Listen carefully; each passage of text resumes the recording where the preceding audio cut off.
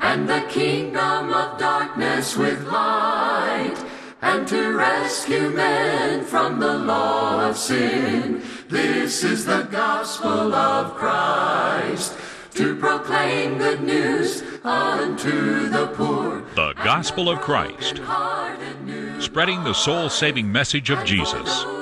And now, Ben Bailey. This is the gospel of Christ.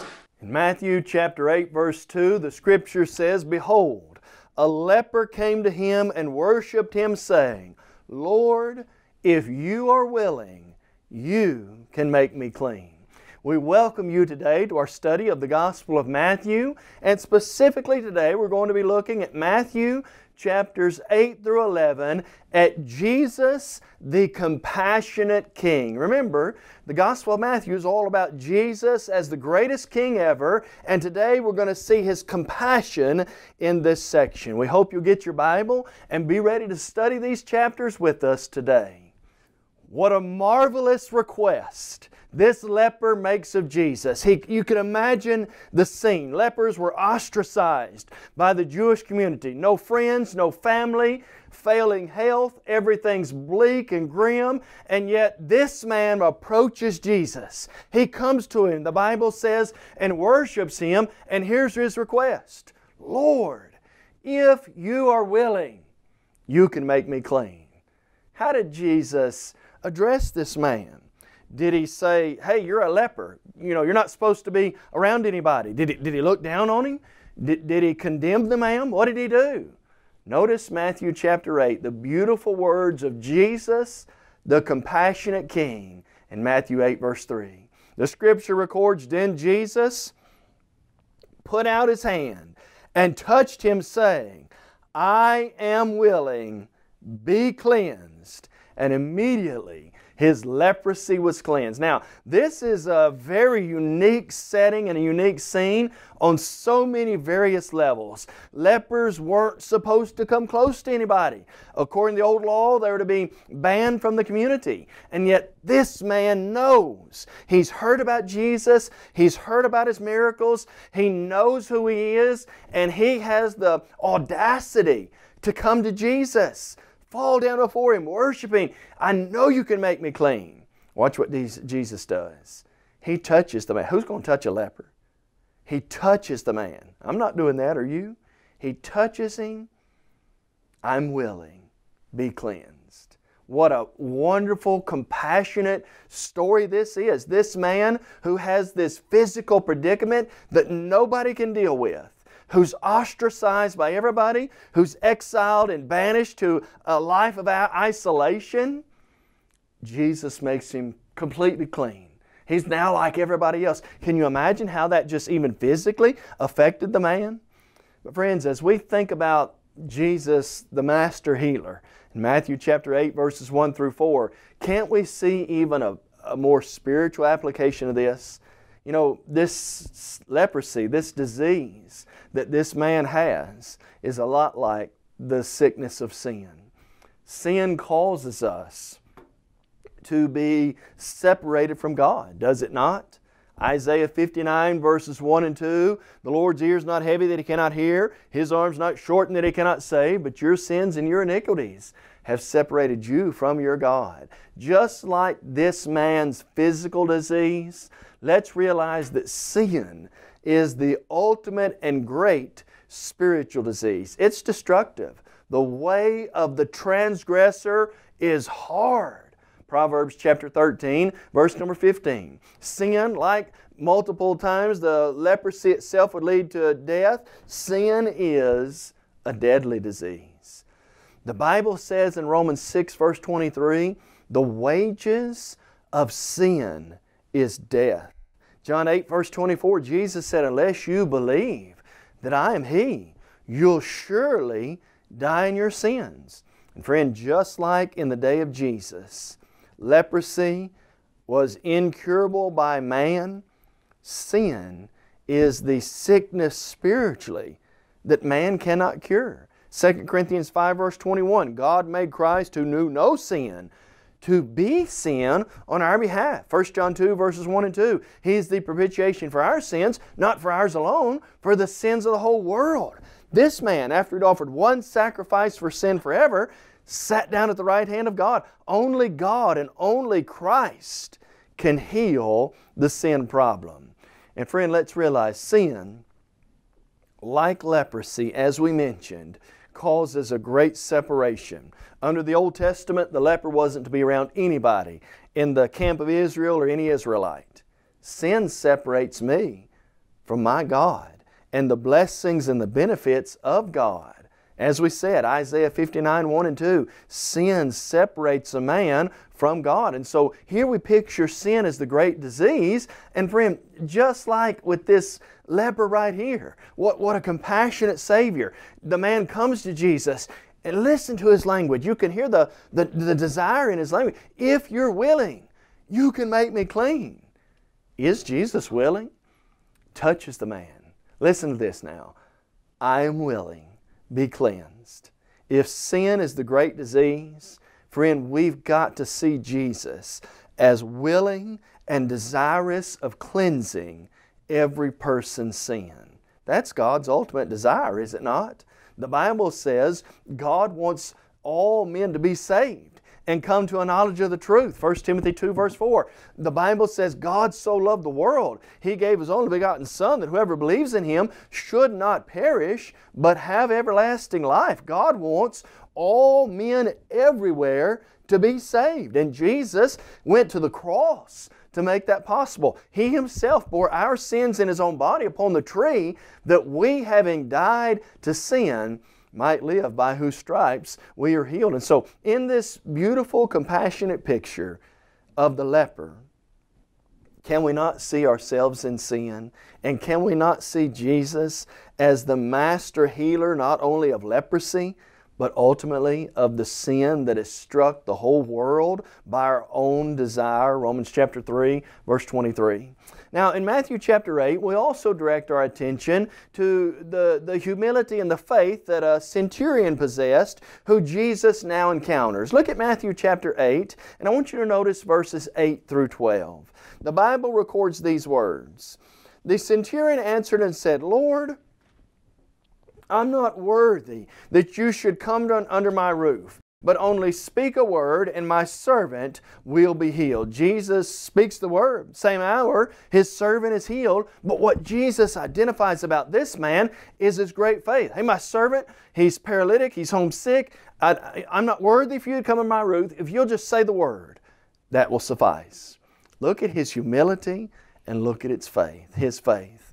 The Bible says, Whoever humbles himself will be exalted. He who exalts himself will be humbled. Luke 14 11.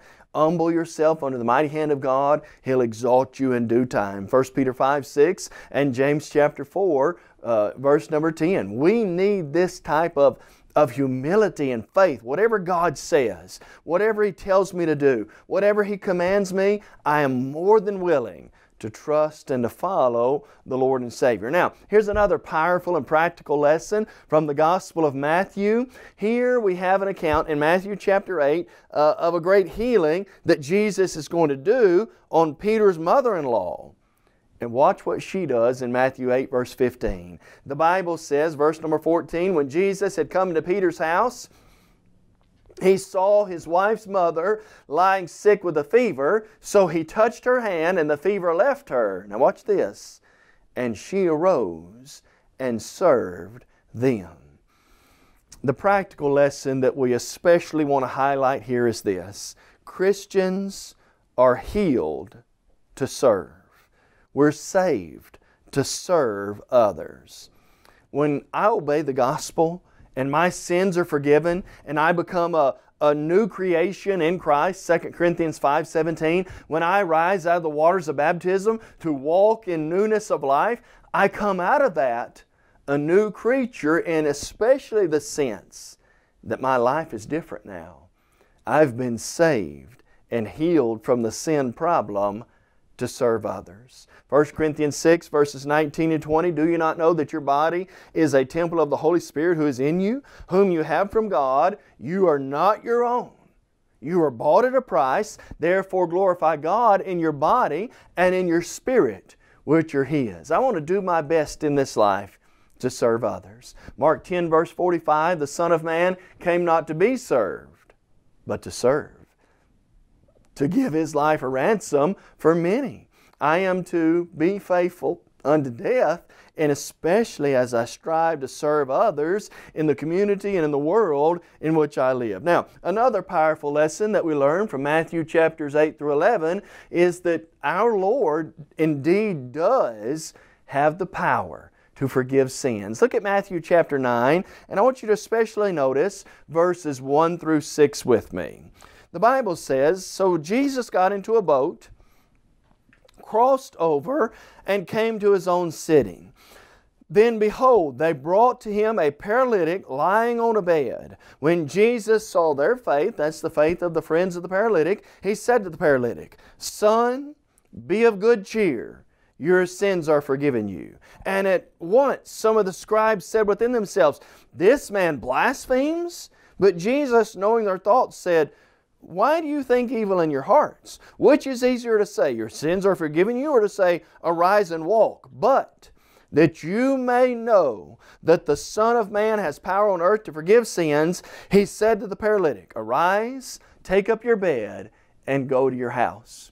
Friend, how encouraging it is from this lesson to realize our Lord has the power and the ability to forgive sins.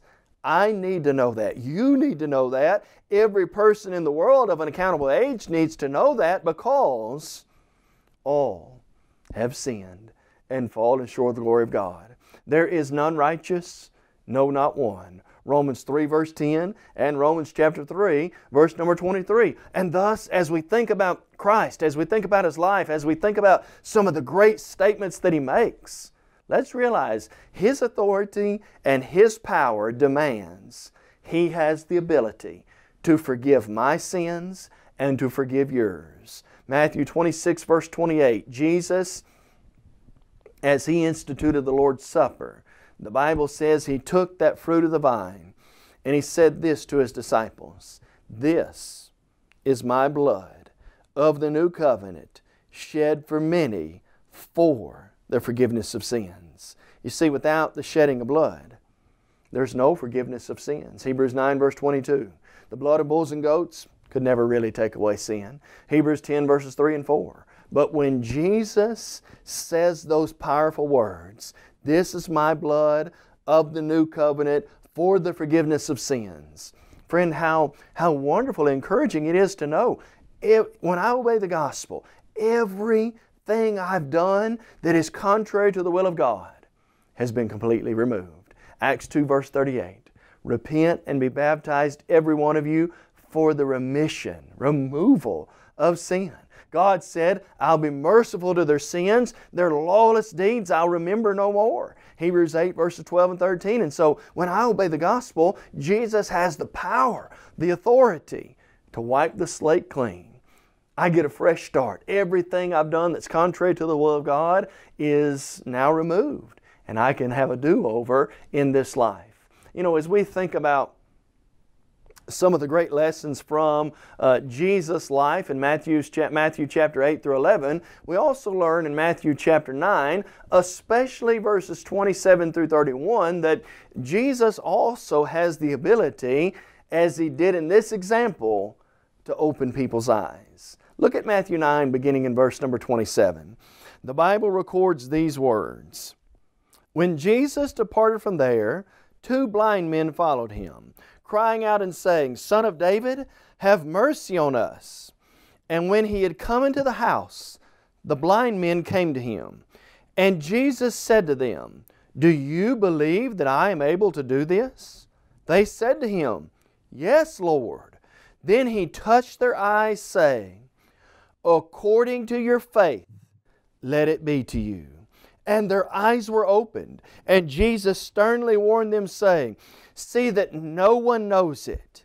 But when they had departed, they spread the news about him in all that country. Now, no doubt, These men are so excited. They've been blind, now they can see. The miraculous power of Jesus heals them with just a touch, and their eyes are opened.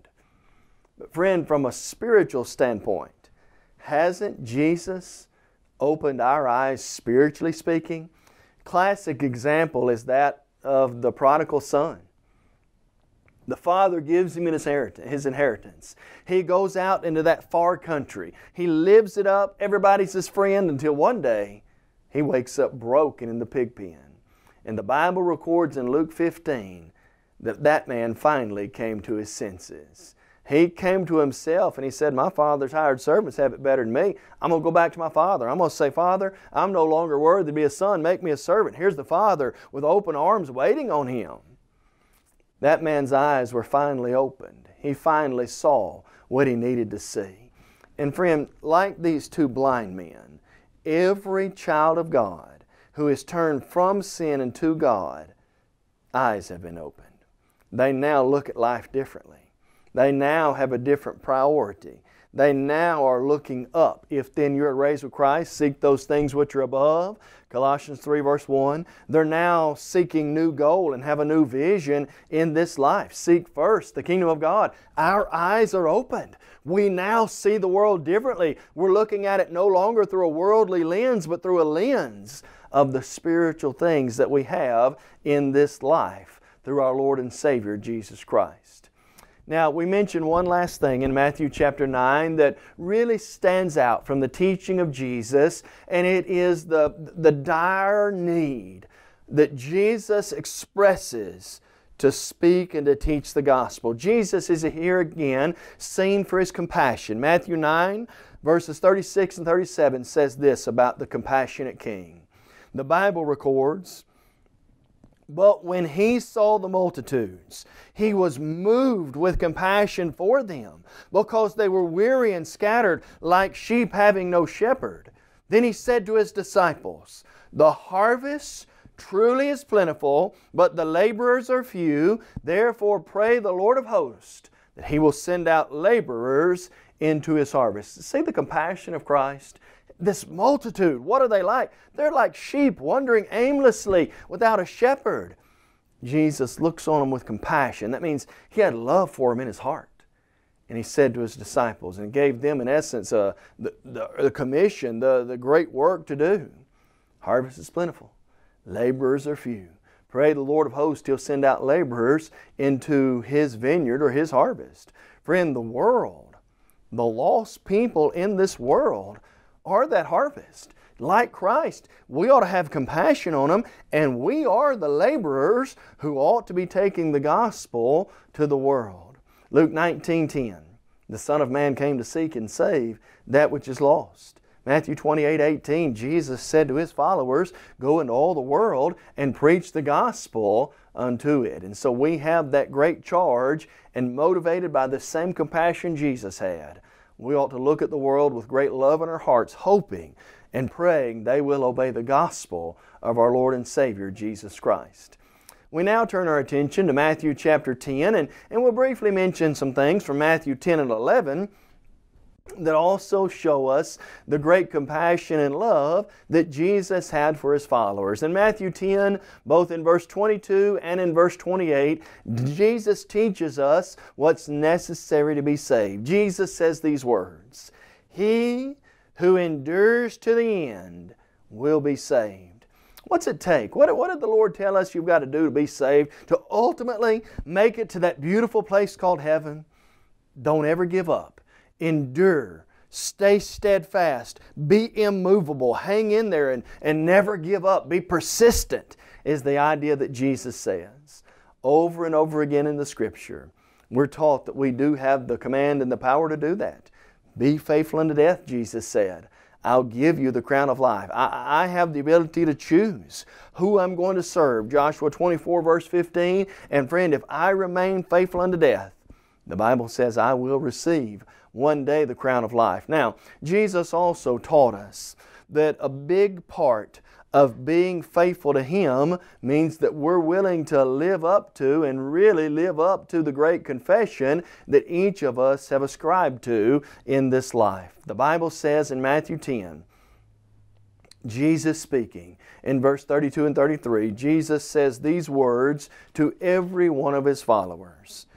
The Lord said, Therefore, whoever confesses me before men, him I will also confess before my Father who is in heaven. But whoever denies me before men, him I also will deny before my Father who is in heaven. What's it going to take to really follow Christ? I'm going to have to confess Him. And friend, I understand initially this applies to obedience to the gospel, hearing the Word of God, believing in Jesus, confessing Him as Savior, repenting of sin, and no doubt obeying His command to be immersed in water for the forgiveness of sin. But friend, the idea of confessing Christ isn't just tied to a one-time confession with the mouth. It is a confession daily.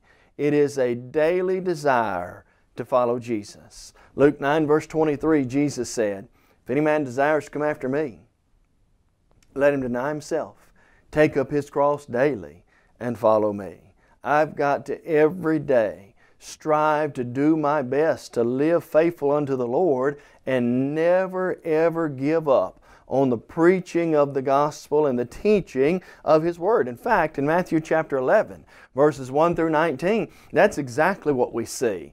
We're introduced to one of the most powerful gospel preachers, or reminded of one of the most powerful gospel preachers in all the world, John the Baptizer.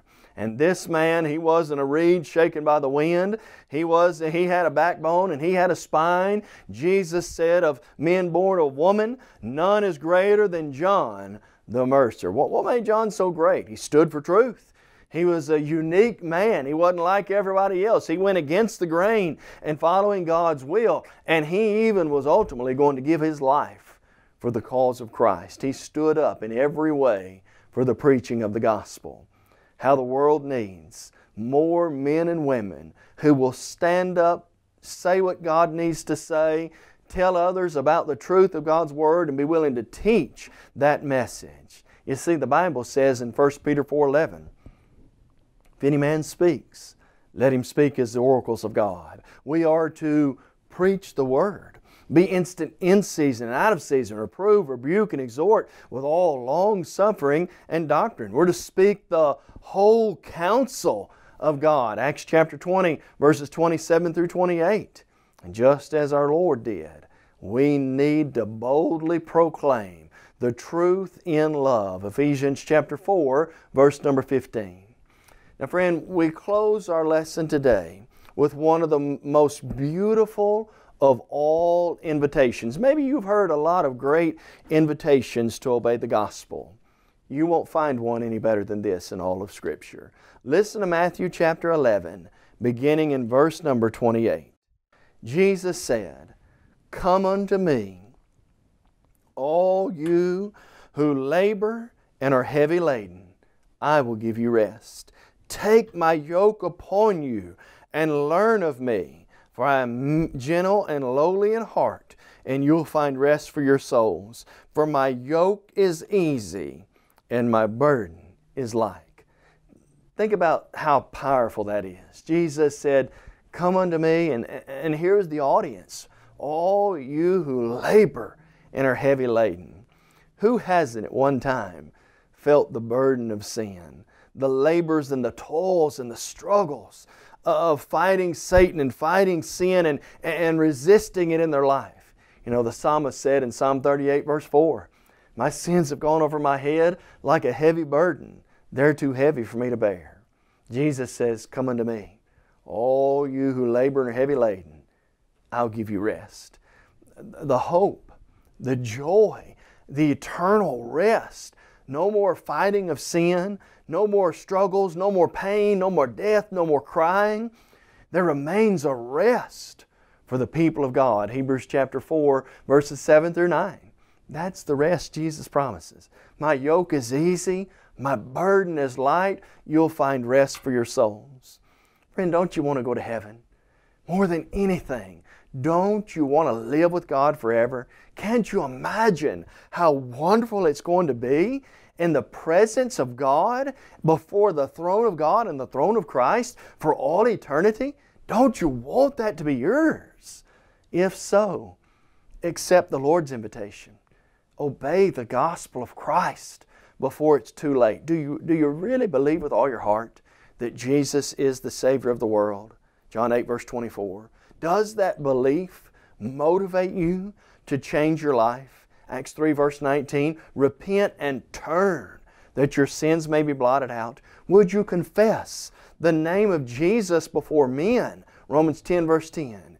And as the Apostle Paul was told, would you arise and be baptized and wash away your sins, calling on the name of the Lord. We hope and pray today that the great invitation of the Lord motivates you to obey the gospel and follow Him every day of your life.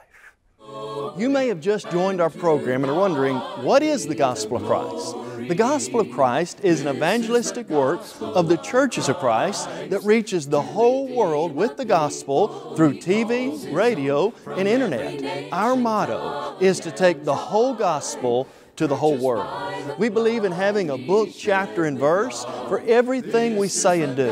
And unlike many religious groups today, we're concerned about lost souls, not your wallet. He'll return like a thief in the night. We encourage you to visit thegospelofchrist.com for a host of Bible study materials as well as audio and video copies of our lessons. If you would like to have a copy of today's lesson, please visit our website and fill out a media request form, or you can email us at mail at thegospelofchrist.com. Call us toll free at 1 855 458 3905 or write to us at P.O. Box 788, McMinnville, Tennessee 37111.